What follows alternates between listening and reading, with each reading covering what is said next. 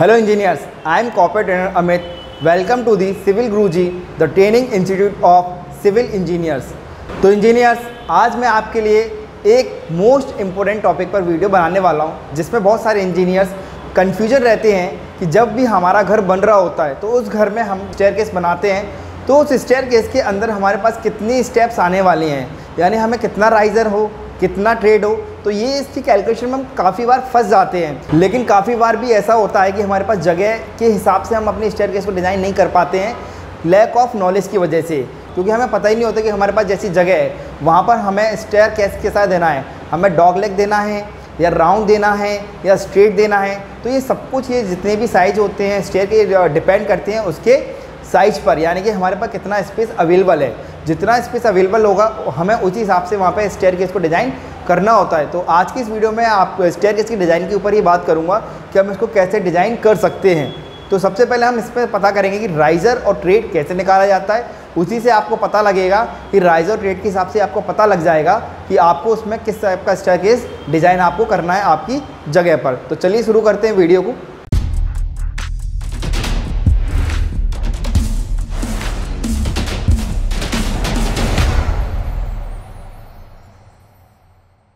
तो यहाँ पे कुछ बेसिक से फॉर्मूले होते हैं, जिससे हमें राइजर पता लगता है और ट्रेड पता लगता है। तो पहले उनको समझ लेते हैं कि राइजर क्या है। जब भी हम स्टेप बनाते हैं, अपने स्टेयर बनाते हैं इस तरह से तो उसमें ये जो वाला पार्ट होता है वर्टिकल पार्ट इसको हम क्या बोलते हैं? इसको बोलते हैं हम राइजर और ये जो हॉरिजॉन्टल पार्ट होता है, जिस पर हम अपना पैर रखते हैं, इसको बोलते हैं हम ट्रेड इसको बोलते हैं हम अपना ट्रेड तो ये राइजर हो गया और ये ट्रेड हो गया।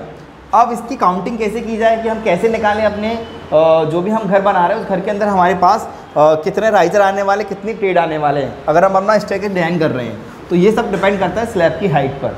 तो सबसे पहले हमें स्लैब की हाइट पता होनी चाहिए स्लैब टॉप तक का स्लैब टॉप हाइट तो ये हमारे पास होना चाहिए। तो अभी मैं अपने केस में मैक्सिमम केस में जो चल रहा है तो वो मैं ले लेता हूँ तीन हज़ार एम एम। तीन हज़ार एम एम मतलब तीन मीटर। यानी कि जो मेरी हाइट नॉर्मली जो बनाते हैं हम अपना घर, वो अपना प्लिंथ लेवल से स्लैब के टॉप तक का कितना रखते हैं? तीन हज़ार एम यानी कि तीन मीटर रखते हैं। तो अभी हम इसी केस को लेके चलते हैं।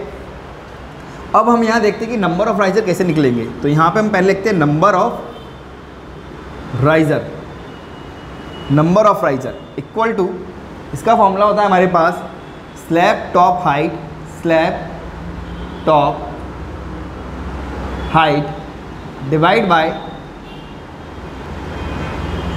riser height riser height तो अब हमें अपने राइजर की हाइट चाहिए। तो मैं आपको एक स्टैंडर्ड वैल्यू बता के चल रहा हूँ।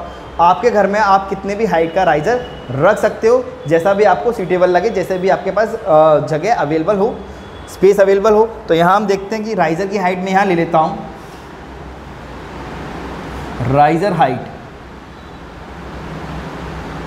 राइजर हाइट यहाँ हम यहाँ लेके चलते हैं 150 फिफ्टी mm नॉर्मली हम इतना ही लेके चलते हैं, डेढ़ सौ एम इससे हम बढ़ा सकते हैं, इससे कम नहीं करना है हमको। तो डेढ़ सौ एम का हमने अपना राइजर ले रखा है। कम चाहो तो आप कर भी सकते हो, लेकिन ये हमारा स्टैंडर्ड साइज़ होता है डेढ़ सौ एम का। तो राइजर की हाइट हमारे पास कितनी है?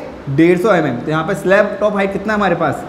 तीन हज़ार एम एम डिवाइड बाई डेढ़ सौ। इसे डिवाइड करोगे तो ये आएगा मेरे पास ट्वेंटी नंबर्स कितना नंबर आ गया मेरे पास? ट्वेंटी नंबर्स मतलब मेरे जो स्लैब हाइट है तीन मीटर उसमें मेरे पास राइजर लगने वाले हैं ट्वेंटी नंबर्स अब बारी आती है नंबर ऑफ़ ट्रेड की. नंबर ऑफ़ ट्रेड ट्रेड ऐसे निकालते हैं इसमें. Number of riser minus one तो जो भी आपका राइजर हो उसमें से एक माइनस कर दोगे तो आपके पास नंबर ऑफ़ ट्रेड आ जाएँगे. Twenty minus one equal to nineteen numbers तो ये नाइनटीन नंबर्स आपके क्या लगने वाले हैं? ट्रेड लगने वाले हैं। तो बस इतना सा इजी है कि राइजर कैसे निकालना है और ट्रेड कैसे निकालना है। ठीक? तो इसमें तो कुछ ज़्यादा बेसिकली इतना हमें टेक्निकल नॉलेज नहीं चाहिए। बस सिंपल से फॉर्मूला में पता होना चाहिए कि स्लैब टॉप हाइट कितना है राइजर का हाइट कितना है डिवाइड कर देना है। नंबर ऑफ़ राइजर निकल आएगा, जो भी नंबर ऑफ़ राइजर उसमें माइनस वन कर देंगे तो हमें नाइन जो भी हमारे पास बच रहा होगा, वो हमारे पास ट्रेड का नंबर आ जाएगा। अब जो मुश्किल आती है, वो आती है मैं डिज़ाइन करने में। तो मैं आपके लिए केस ले रहा हूँ कि मुझे कैसे डिज़ाइन कर सकता हूँ मैं यहाँ पर तो अभी हम बात करते हैं, इसको आपने नोट कर लिया होगा, और नहीं किया है तो आप इसका स्क्रीनशॉट ले लीजिए। उसके बाद हम आगे बढ़ते हैं। तो इंजीनियर्स अब हम यहाँ पे एक केस लेते हैं और डिज़ाइन करके देखते हैं कि हमारा वहाँ पर जो स्टेयर केस है, वो किस शेप का आ सकता है। तो मैंने यहाँ पे केस ले लिया है। मेरे पास जो स्पेस अवेलेबल है, वो है मेरे पास तीन मीटर और ये ढाई metre. Three by two point five का मेरे पास स्पेस अवेलेबल है। अब मुझे पता करना है जो मेरा स्टेयर केस है, वो स्ट्रेट आएगा या एल शेप में आएगा या सी शेप में आएगा। तो मैं उसको लगा के देखता हूँ। तो यहाँ पे अगर मैं सबसे पहले ट्राई करता हूँ स्ट्रेट में तो यहाँ पे मेरे पास राइज़र कितना था? अगर मैं अपने स्लैब की हाइट स्लैब हाइट वही तीन मीटर लेके चल रहा हूँ तो यहाँ पर राइज़र मेरे पास कितना था? ट्वेंटी ट्रेड कितना था? नाइनटीन तो 19 जो ट्रेड है, इसी ट्रेड से मुझे डिसाइड होगा कितना लेंथ लेके जाना है। जैसे मैं यहाँ पे बनाता हूँ एक डिज़ाइन आपको इस तरह से। ये तो अगर ये मेरा ट्रेड है, और अगर ये 250 का है, ये भी 250 है, ये भी 250 होगा, और ये भी 250 होगा तो यहाँ से यहाँ तक की वेट कितनी हुई है डिपेंड किस पे कर रहा है? इस ट्रेड के लेंथ पर। तो ये ढाई सौ ढाई सौ ढाई सौ कितना हो गया? वन मीटर यानी कि मुझे यहाँ से यहाँ तक वन मीटर का स्पेस चाहिए इतनी साइज़ की ट्रेड को लगाने के लिए। तो बस वही मुझे पता करना है कि मेरे पास जो तीन मीटर का स्पेस अवेलेबल है, क्या इसके अंदर हमारे नाइनटीन ट्रेड आ सकते हैं क्या? तो मैं मल्टीप्लाई करके देखूँगा यहाँ पर लेंथ के लिए। 19 इंटू टू तो ये लगभग आएगा 4750 एम mm लेकिन मेरे पास स्पेस कितना अवेलेबल है? तीन मीटर और आ कितनी रही है इसमें केवल? 4.750 यानी कि चार मीटर का, साढ़े चार मीटर से ज़्यादा का मुझे स्पेस चाहिए था, जो कि मुझे मिल नहीं पा रहा है। अब इस प्रॉब्लम से बचने के लिए मुझे अब जब डिज़ाइन करना होगा, वो एल शेप में लेके जाना होगा। मैं पहले सोच रहा था कि स्टेट लेके जाऊँ, लेकिन स्टेट नहीं आ पा रहा है, क्योंकि मुझे इतनी जगह की रिक्वायर्ड है। लेकिन अब मैं क्या करूँगा, इसको चेंज करूँगा, और चेंज करके एल शेप में देने की कोशिश ट्राई करता हूँ। तो एल शेप में कैसे जाएगा? ऐसे जाएगा, फिर यहाँ पर मुझे लैंडिंग देनी पड़ेगी। ऐसे जाएगा, यहाँ लैंडिंग देनी पड़ेगी। लैंडिंग के बाद फिर मुझे इसे ऊपर ऐसे लेके जाना होगा। तो अभी मैं मान के चलता हूँ, जो मेरे पास स्टेयर केस है, उसका जो लेंथ में लेके चल रहा हूँ, वो लेके चल रहा हूँ मैं इसमें पॉइंट फाइव मीटर ये जो वेट थे ये वाली पॉइंट फाइव मीटर लेके मैं इसके अंदर चल रहा हूँ। तो यहाँ पर मुझे ये point five metre by point five metre का क्या देना पड़ेगा? लैंडिंग देना पड़ेगा point five metre by point five metre का। तो इस पूरे तीन मीटर में से पॉइंट फाइव तो ये माइनस हो गया। तो अब मेरे पास कितना बच रहा है? Only two point five metre तो टू पॉइंट फाइव मीटर के अकॉर्डिंग अगर मैं देखूँ यहाँ पर कितने मेरे ट्रेड आ सकते हैं तो number of trade number of trade कितने आ सकते हैं? 2.5 यानी कि 2500 सौ एम डिवाइड बाय ढाई कट करेंगे तो 10 यानी कि मैं 10 ट्रेड अपने यहाँ पे ले सकता हूँ।